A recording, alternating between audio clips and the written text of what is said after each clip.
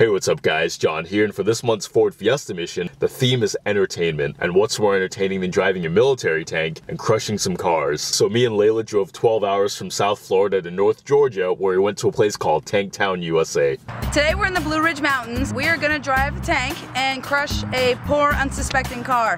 Who's never gonna know what hit him? Tank Town is owned by this cool guy named Todd. You can drive different military vehicles or even an excavator. So after arriving early and taking in some of the beautiful scenery, it was our turn to get behind the controls.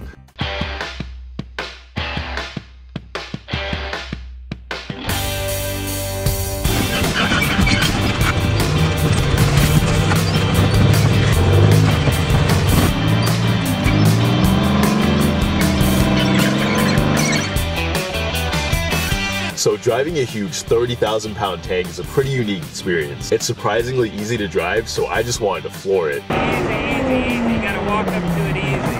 Okay. My inner child was so happy, and at one point Todd had to tell me to slow down because I was driving it too fast. Sorry, Todd.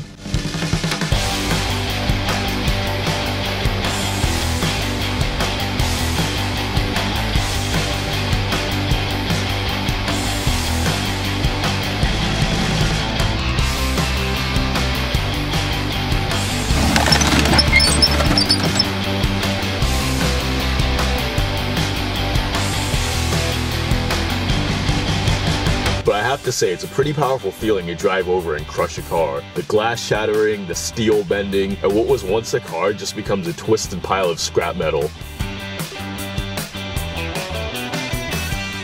So after feeding my inner child and my need for destruction, we headed out to enjoy some of the beauty of Georgia.